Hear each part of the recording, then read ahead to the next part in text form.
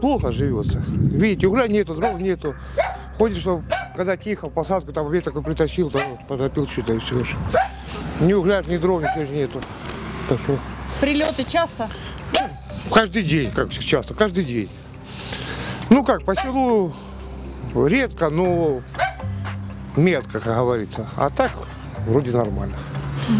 По окраинам сильно бьют, а так молодежи мало, все повыезжали, всеми повывозили. Я тоже и семью вывез, и маму вывез, и повывозил, сам остался.